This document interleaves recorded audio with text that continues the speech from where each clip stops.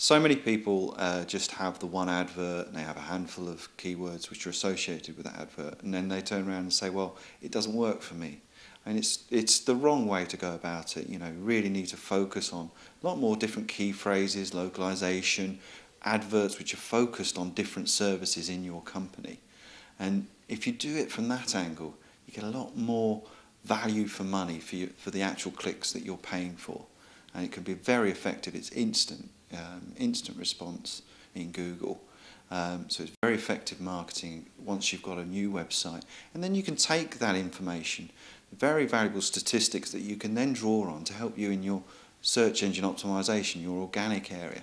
And of course, this, I mean, for anybody who doesn't understand, the pay per click adverts are on the right hand side of Google. I'm right in saying, I think, if you've got the organic links, if you're high up there from good search engine optimization, and you're also high up in the pay-per-click ads, your conversion rate goes to the roof, doesn't well, it? Well, you're appearing in both columns.